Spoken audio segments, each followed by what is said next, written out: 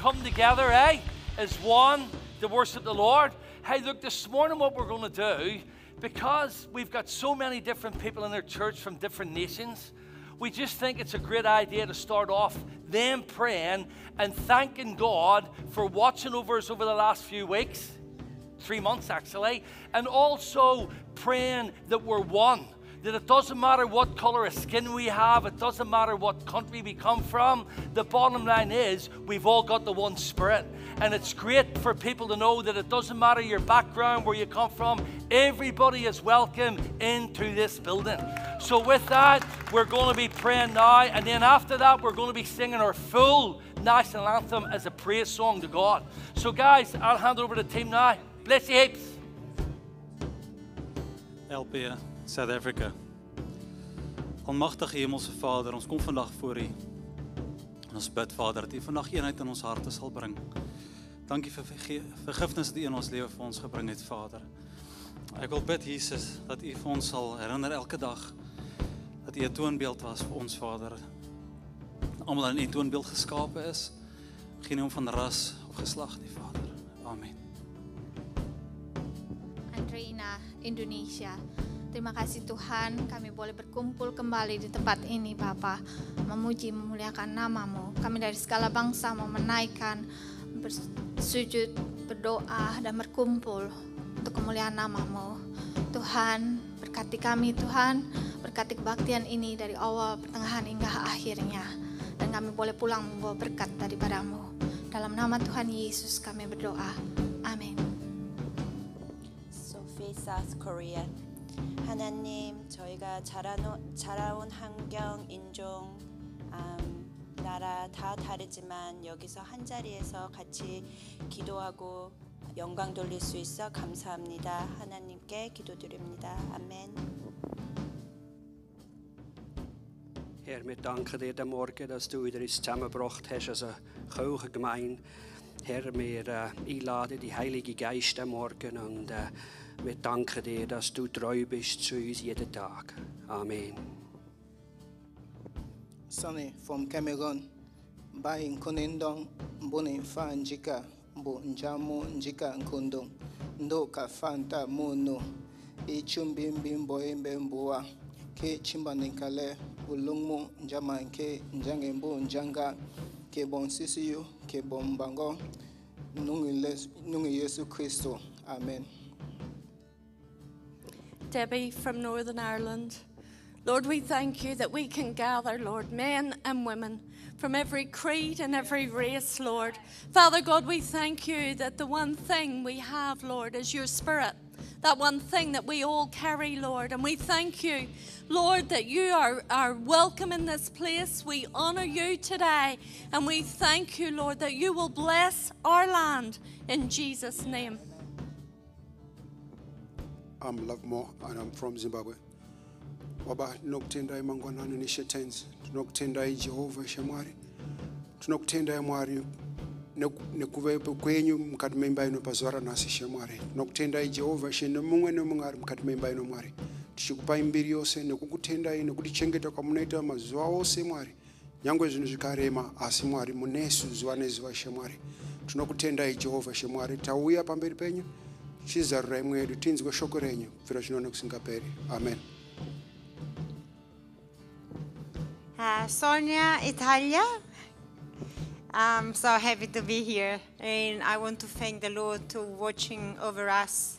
I missed you guys. You're my family, and um, I'm just really, really grateful for the Lord watching us over this time, giving me strength, being here in New Zealand on my own, and, and looking after your health.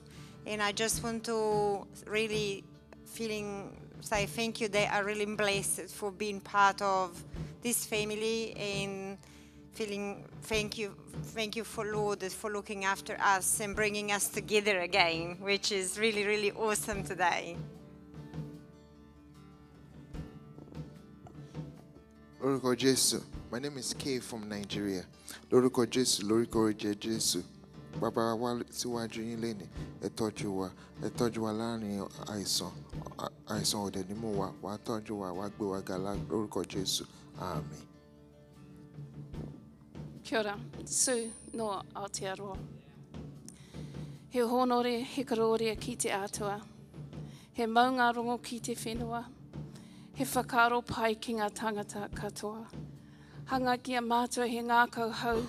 Ki roto ki tēnā ki tēnā i a mātou. Whakatongia tō wairua. Hei tohu tohu i a mātou. Hei oranga, hei awhina, hei oranga ki te mahi. Mō tēnei rā, ake, ake, ake, āmene.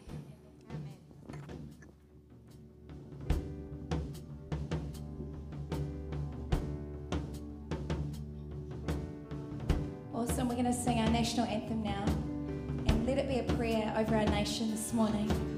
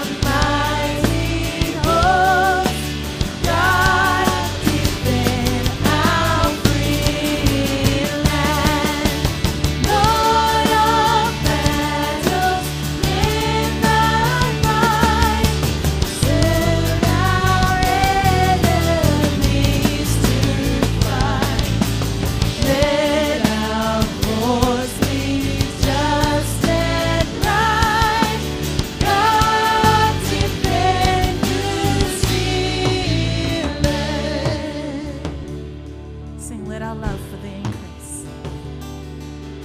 Let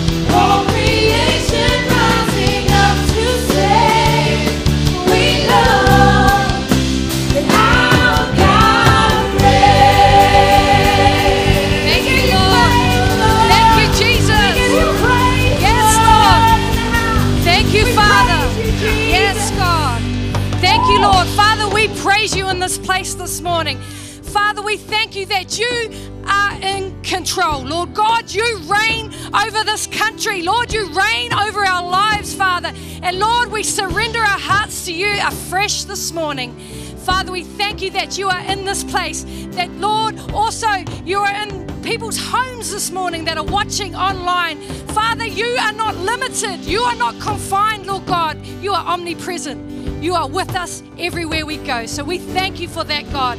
We pray these things in Jesus' name. Amen. Amen. Take a seat, church. I hope you're all well this morning. Welcome to the best place on the planet, the house of God. Are you excited to be in church this morning? Come on. It's so good to be back and to see all your beautiful faces. We've missed you. Um, also, welcome to all our viewers online. Uh, we know that you're at home in your PJs, but um, God still loves you, even in your PJs. But welcome. Um, awesome. Hey, um, celebrations. Have we had any birthdays this week? Just raise your hand. Oh, we've got a few in here today. Or have you had a birthday over lockdown that you haven't? Oh, there we go. That you have not had your chocolate bar yet. All right, there's a few hands being raised, a few IOU chocolate bars in this house. That's good. what about wedding anniversaries? Any wedding anniversaries? Over lockdown, you had a wedding anniversary. How many years? 39? Three. Amazing. Three's a good number. Congratulations. Well done. Any other anniversaries? No? Awesome. Cool. So good to he- have you here. I think all the chocolates have been handed out. All right, we're going to tune into some notices now. If you just cast your eyes on the screen for notices. Hey, Tauranga Elim Church, uh, I've just got one notice for you guys this week, and that is to keep your eyes peeled on social media and also your emails. This week, we'll, we will be announcing what's happening going forward. Uh, as you all should know, Jacinda this Monday is announcing whether we move to level one or not. If she does, that means we're going to be running back to our 10 a.m. service when everyone can come. So here's hoping that we go to level one. I just want to thank all those that give into the house. And so I'm just going to quickly pray for the tithes and offerings. Lord, we thank you for every giver, every heart, Lord, uh, that gives into Tauranga Elim Church. Lord, we ask that you take the money, you multiply it, and you use it for your kingdom. We pray that you bless them um, and that, yeah, you just continue to multiply and, and use this money and bless others through it. In Jesus' name, amen. Thank you, guys. Awesome.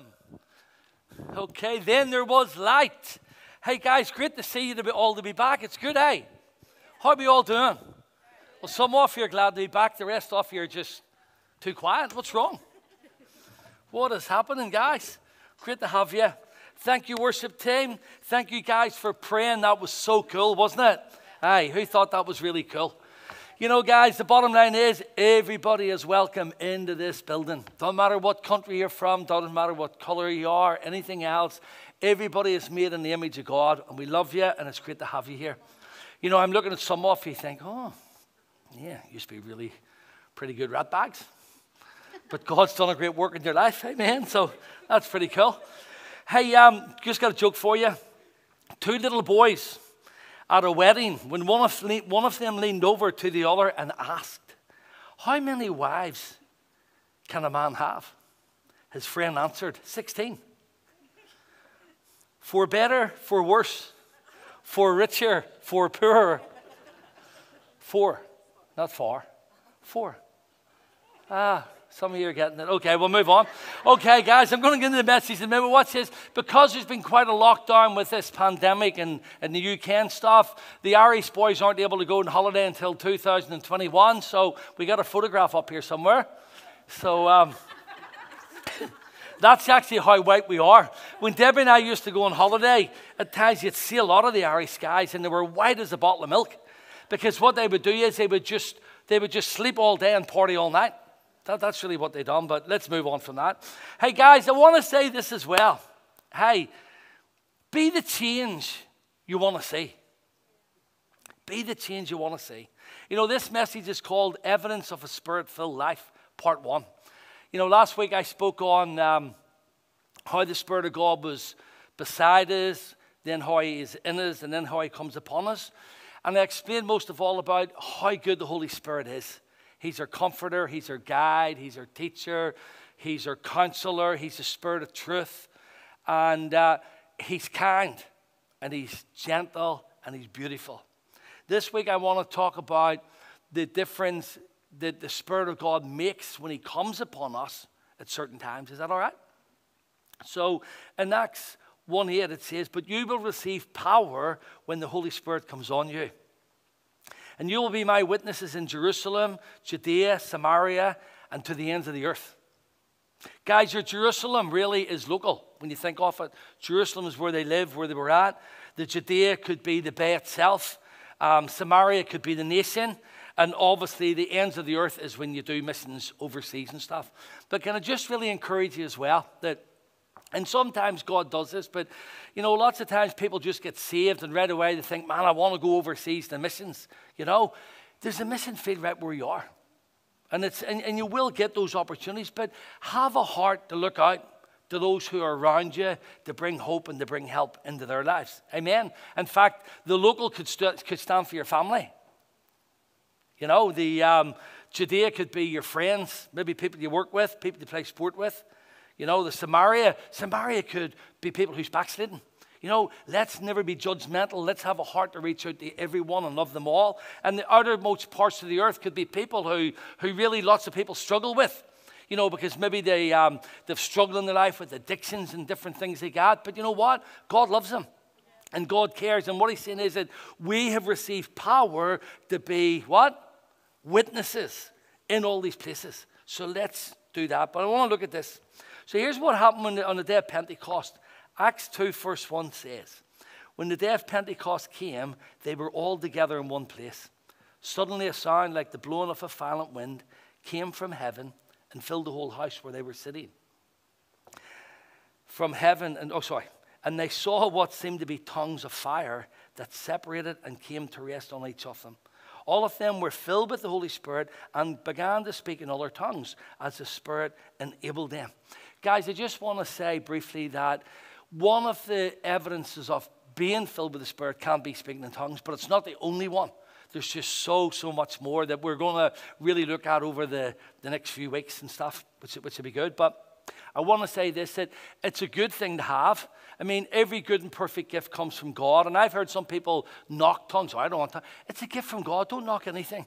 And there is a purpose for it that we'll look at one day. I'm not going to look at it now. I, I talked about it in the first service, but I feel, hey, let's leave it alone. But here's the thing in um, 1 Corinthians 14, it talks about um, follow after Jesus, follow after God, but eagerly desire spiritual gifts. So God wants to give gifts, and the Holy Spirit is the one who gives them. Okay? And um, in Acts 10, 45 and 46, you'll see that when the Holy Spirit fell upon Cornelius' household, just the Holy Spirit, this is 10 years after Pentecost, guys, they started to speak in other tongues. it, it is a gift from God. And you'll see even when Peter goes down to, I think it's um, Ephesus in Acts 19.6, where he talks about what, you know, what have, what baptism have you had? And he, and he actually lays hands on them for the baptism of the Holy Spirit. So it is very, very important that we've got that so that the gifts can activate in their lives. But what I love most of all is that those people who were filled with the Spirit, they didn't stay in the upper room. They didn't stay in the house. They went out into the community. And that's where they made a massive impact. Okay? They made a massive impact in their community. All right? We see that from the start, like to think about it, guys. This was men who were frightened when Jesus was um, crucified because, you know, they were his disciples and they were hiding in an upper room knowing that maybe they were next. You ever think about that? That they were probably thinking, man, they're going to come after us now. They've got Jesus. They're going to come after us and, and murder us you know, they were afraid, and Jesus turns up and tells them to be peaceful and stuff. But the amazing thing is, on the day of Pentecost, when the Spirit of God came upon them, they went out. Peter went out and shared the good news of the gospel, which is pretty cool, isn't it? But can you see the difference, the transformation of the Spirit of God being upon him? He went and he shared. Obviously, that word power means dunamis which means supernatural power and means miracle work and power. You know, when they prayed for the, the, the beggar, you know, they said, Silver and gold we've got none, but what we have in the name of Jesus, yep, stand up. And they helped him up, and he was healed there and then. That's, that's the Spirit of God. That is not them. And I've seen in the first service, guys, so I've got a hose, okay? Um, this hose, like just, just say this is my garden because I don't want to bend down, right? But just say this is my garden and the grass is getting a bit dry. If I come out of the house with my hose and I, is the grass going to grow? I mean, what's going to happen? Nothing because it's just a hose, right? But if I connect it into the tap, turn the tap on, and water comes out, what's going to happen? The water, so it's not the hose that's bringing healing, it's the water inside it. Guys, it's not us who bring healing, it's the Holy Spirit through us. But we got to stay connected to God in relationship. And I want to say, guys, that's through prayer, it's through worship, and it's through being around other believers as well. We need each other to encourage each other and inspire each other. But it's not by might, not by power, but by the Spirit of God. Guys, we have seen the Spirit of God move so often in people's lives. And I'm going to talk a little bit about healing first of all here, okay? Because you can look at the Bible and you can think it just happened in the Bible. And the book of Acts is full, honestly, it's full of people being raised, raised back to life again. There's people healed, there's signs and wonders all around the place through believers. And Jesus had prophesied to them that this day would come, that these things would happen. But sometimes we forget or we don't know, we can be ignorant in a, in a nice way, we don't know that God wants to use you and me to bring healing into other people's lives. And guys, this is spirit, soul, and body. It's the three. It's the whole three, and we got to realize that. So it can be mental, whatever, you know, giving people hope, getting beside them, loving on them. God can bring healing through that. But it can be a sickness in the body where hands are laid on and people can be healed. And I want to stay on that because the book of Acts is filled. These guys were courageous. But they preached Jesus. They didn't try to take glory to themselves. In fact, they said, Listen, guys, we ain't healed this guy. This is not us who's healing him. It's faith in the name of Jesus. Why this cripple has been healed. You still with me? Good, good, good. Miracles, cripples were healed. Dorcas was dead. They prayed for her, she came back to life. Paul was stoned and he was dead, and he came back to life. There was a guy called, I think it was Aegeus, and he fell from a window and died. And they laid hands on him, and he came back to life. Cripples walked, people were set free. The book of Acts is full of it. And the first time I seen somebody being healed in church, I cried because I didn't realize that, wow, God can do that. I was obviously believing that I've given my life to Jesus, so I've got to do my best to be a good boy. Guys, you can't, your best is not good enough. It's by grace and the Spirit of God in your life, right? But I thought I'll just try to be really as good as I can be so when I die, I'll go to heaven. That's what I thought, right? I go to an church. And I'm not lifting the church up because you lift up the name of Jesus, okay? But I went to an church. I've only been in two churches, guys. One in Gisborne was an Elim church, and in this, in this church here, right? And um, I was at a service, and, and, and the pastor was saying, Right, we're going to pray now for those who are sick. Please come up the front. And these people come up the front, and then he called these other people on board to come and pray with him. And honestly, like, they were, they looked rough as guts. You know, they really did. They looked rough as guts. You know, one of them had a skivvy on and like tracksuit pants and a pair of jandals. I'm serious. And I remember thinking, what? What's all this about? But he used these people to pray, and people got healed. And when I seen people getting healed, I just cried. And my, my heart was, Lord, I didn't realize that you love us enough, like even on this earth, to bring healing. You know, I just, I just broke down and I thought, wow, I want to find out more about what is sort of going on, okay? So it's got to line up with the Word of God, all right? So in Mark 16, 17, and 18, this is Jesus talking to the disciples after his death and resurrection, all right? And Jesus said these words to disciples. So here's a prophecy coming, and in the book of Acts, you're seeing it carried out. But he says, Listen, and these signs shall follow them that believe. Are you a believer? It doesn't say these signs shall follow those who are pastors, although they do, or apostles and prophets. Yes, they do, but it says believers. That's everyone in here if you've got Jesus in your heart, right? That in my name you shall want cast out devils. You will speak in new tongues. They shall take up serpents, and if they drink any dead, deadly thing, it shall not hurt them. They shall lay hands on the sick, and they shall recover. Wow, how cool is that? Now remember, guys, so we were talking about you will receive power. Hi, guys out there watching TV. I forget that you're there, so great to have you on board. Um, what was I just saying? You will receive power, sorry, sorry, to be my witnesses. So power, dunamis power, right? But, but he says in Jerusalem, Judea, Samaria, right? So I want to break this down. Look, can we throw the, the PowerPoint up of the young girl? Anybody remember this? This was about 15 years ago, roughly. This was Hope Gray, a young girl who lived in Murrayfield. She'd been walking across the road and she got hit with a car. And she was dying. And her family phoned me and asked if I would come to the hospital and, and, and pray for her. And we were in ICU. And a little girl was lying on the bed in ICU. And the doctors had said, hey, listen, it's really touch and go. We think she probably won't make it. The helicopter had to come in to take her to Auckland, but the parents weren't allowed to travel with her. The parents had to travel in their own vehicle by road. And what the doctors had said to the parents were, listen, don't be surprised that when you get to Auckland, your daughter's not alive. And they said it in a nice way, and they left. And the, the father looked at me and he said, Trev, what do you think? I said, bro, I'll be honest, your, your daughter is very sick. She's very badly beat up, you know. I said, but you know what? I believe God can heal her. And we're going to pray. And we just all joined hands, the simplest prayer, joined hands around the bed, and the prayer was, Lord Jesus, we pray you do a miracle. We pray that this young girl would not die. We pray that this young girl would recover. You know, we pray that you would guide the, the, the, the doctors, the surgeons, the anesthetists, whatever people are working. Because you see, guys, God has given them gifts as well because it works hand in hand. Amen. You know, don't, don't worry about if you got to go to the doctor at times. Don't anybody be super spiritual and tell you not to go.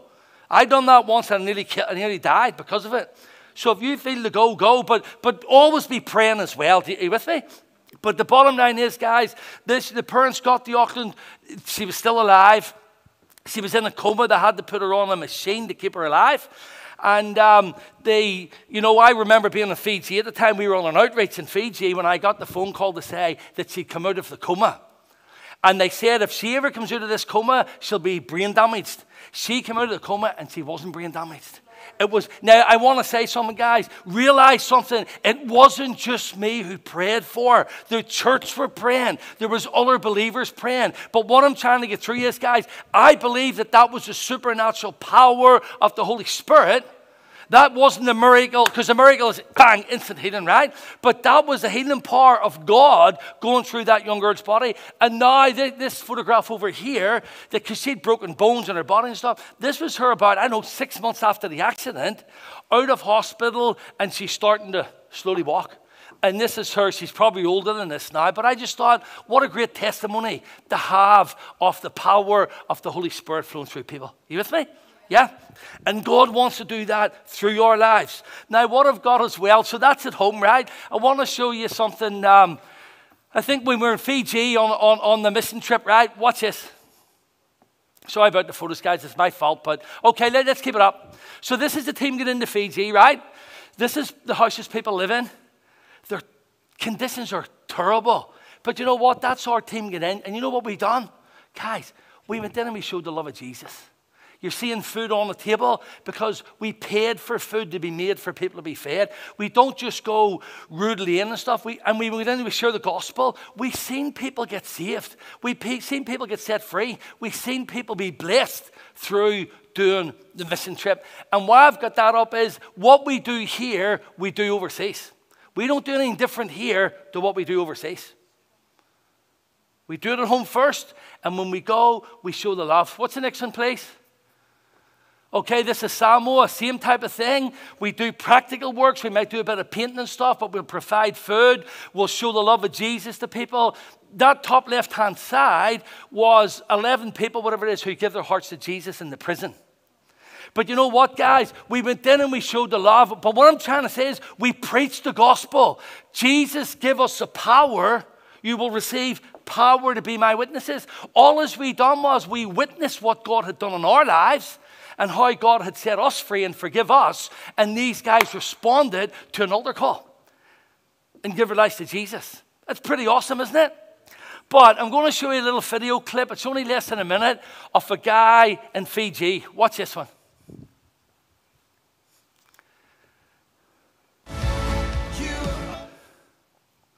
He sings as well.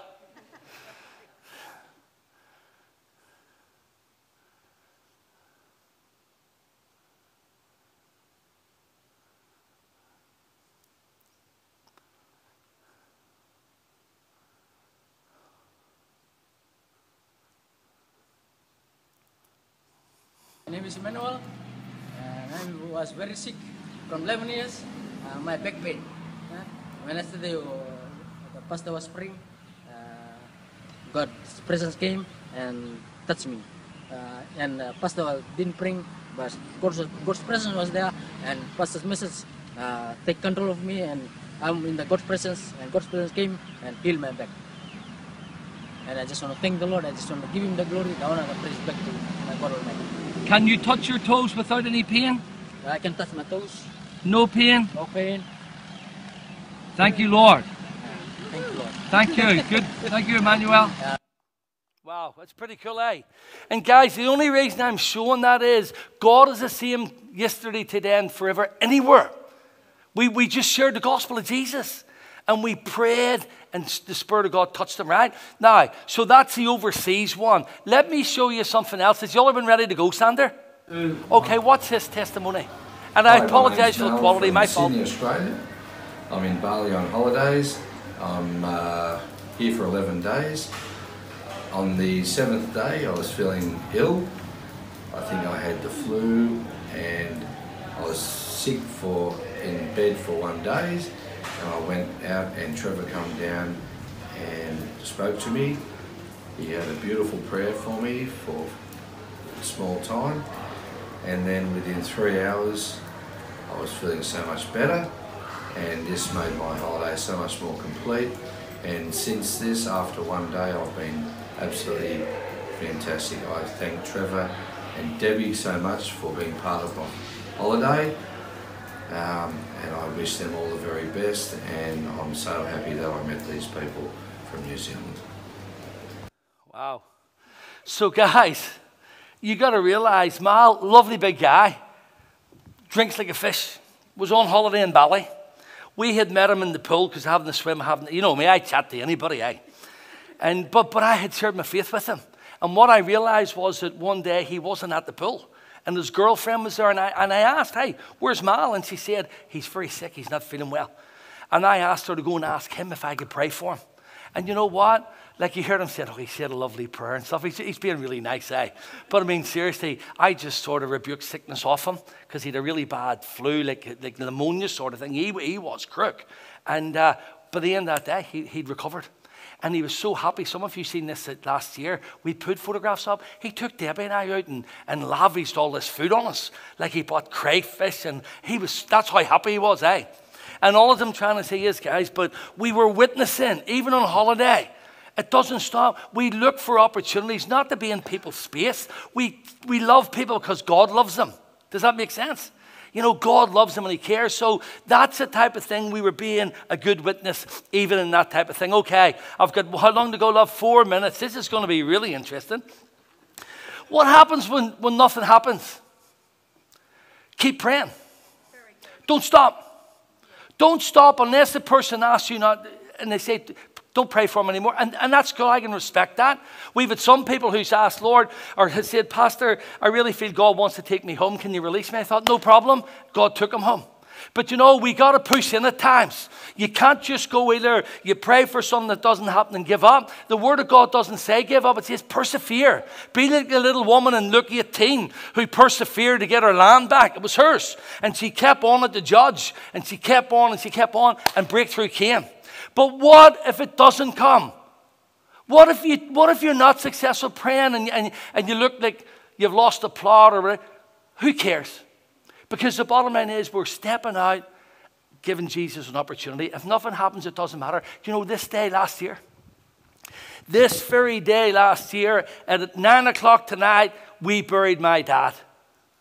A year exactly today. And you know what? This is not fake, but the joy of the Lord is my strength. Guys, I believe when I was going home to Northern Ireland that my dad was going to be healed. I honestly believe my dad was going to be healed. We had got this news through that from him being really sick with sepsis, that he was actually getting better. He was actually getting better when I booked the aeroplane ticket, but I just wanted to go home. I knew he'd been through the mill. I thought, I want to go home and just tell the old man I love him and I'm proud of him. But unfortunately, that didn't happen. And you know what? I went in and I prayed on my own three or four different times in that ward myself. And I done everything I knew how to pray. I rebuked everything that things didn't even exist, if you know what I mean. And I asked Jesus, cried out, Jesus, heal my dad. And he didn't. And there came a time in my spirit, I just felt the Lord saying, I'm taking him home. It's okay. And the great thing is, I'm going to see him one day. But, but here's the thing, guys. We do pray for lots of people at times and nothing happens, but don't stop praying. Please don't stop praying. Look for opportunities. I've prayed, listen, I'm being honest, I'm sharing my heart and, and, and bearing with you that I've prayed for lots of people who have cancer and, and they've went to be with Jesus. But I've prayed for three people who's been healed. So I'm going to give up because of there. And, and you know what? I got to be honest. Nobody's batting on on a wicket 100%. I don't care who you are. You know, come on. Let's keep reaching out and for God. Amen. So what have I got left, honey? What's the time? Two minutes.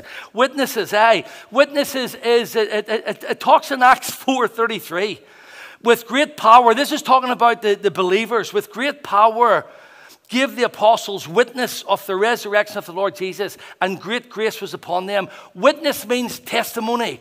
They testified, guys, listen, they testified about the death and the resurrection of Jesus and the forgiveness of sins. And the Spirit of God moved on that because they were a great testimony. But what I want to say is this, guys what is our witness? What is our witness as believers of God? What are people seeing? And I know we're not perfect. I know in God's eyes we are because of what Jesus done. But you know what? Have we forgiven people? Are we loving towards what are people saying? Because I'm telling you, the people said themselves that these guys, they could see they were changed men. They could see that they had changed from being afraid to being full of courage, and it said they knew they had been with Jesus. Guys, our witness, I'm talking lifestyle. I'm not talking about getting into religion. I'm talking about as you walk with the Lord in relationship, are you letting them deal with your anger? Are you, are you giving them a chance to deal with maybe stuff you're struggling with? I don't know what that is. But trust God and let God. People should see a difference. Amen? People should. So finish with this. Be a good witness by your lifestyle because we're being transformed. My lifestyle is better now. And I, I'm not perfect. Ask my wife. In fact, don't ask her because she'll tell you too many truths. No, I'm joking. But I'm to say is my life is being transformed. Be not conformed to things this world, but be transformed by my life is being transformed. I am not the same person I was 29 years ago. And God's still strengthening me and molding me and forming me and everything else. You with me? So I want to finish with this. There's a story in the Bible, and there was a guy who had 2,000 demons. It's not fake news. This is the good news, the truth. This guy was messed up. He'd been into everything, opened everything up for the enemy to come in. 2,000 demons, guys. He was in the graveyard. When I was a kid, we used to go to the graveyard now and again when it was dark to see if there was any ghosts. And everybody was holding on to each other's shirt and pushing someone else to go first and all that stuff. But you know, this guy said that they tried to chain him up and he would break the chains. He run about naked. He was a looper. He was possessed. But Jesus turns up and takes care of it instantly, right? Sets the guy free. The guy's so excited. He said, Jesus, I want to come with you. Jesus said, No, no, no. Don't come with me. This is what I want you to do. Stay where you are. Listen to this. In Mark 5 19, Jesus did not let him go with him, but he said, Go home to your family. Tell them how much the Lord has done for you. Tell them how kind he has been to you. So the man went away in the area known as the Ten Cities, the Decapolis, obviously, and began to tell how much Jesus had done for him. And all the people were amazed. Do you know what? It wasn't just the talk, guys. They were amazed because they could see the guy was in his right mind. They could see the guy wasn't dealing in stuff that he used to deal before. You with me? They could see he had clothes on. Thank God none of you had to run about naked before you came to church. But, but, but they, what I'm trying to say is, guys, they've seen the difference. Um, come on, they should see the fruit of the Spirit in their lives love, joy, peace, patience, kindness, goodness, self control, and humility. That's the one, yeah? That's right. They, are people seeing that? That's what I'm saying. Are people seeing that in our lives? Yeah, you're going to make mistakes, but in general, are they seeing that? Are they seeing us being kind? Are they seeing us being forgiven? Are they seeing see us as loving on them? Does that make sense? You know? So I'm finishing with that, guys. And this is what I want to say. People should see change. There should be fruit, proof of the fruit in our lives. Hopefully, some of my friends can see the difference in my life over the last 29 years. You know? I just hoping that. And I'm hoping and believing that through that, that God would use that to draw them by His Spirit. So can we stand? I'm going to pray, and then Millie's going to come up to close the service. Thank you, Jesus. Next week, I'll be speaking on the joy uh, evidence of a spirit for life, the joy of the Spirit, and being led by the Spirit. Lord Jesus, I just thank you that, Lord, that you're awesome. Thank you for the work that you're doing in our lives. Lord, we just yield our lives afresh to you today. We yield our mind, our will, our emotions, our thoughts, our feelings, Holy Spirit. And we pray, Lord, that you would fill us afresh in Jesus' name, that we would be great witnesses in this city. Lord, that we would love people the way you love them that we would get beside them and encourage them. Lord, we would take opportunities to pray for people, people who are unwell, people who are struggling with different things. Lord, that we would take the opportunity to pray and let your Holy Spirit move in their lives.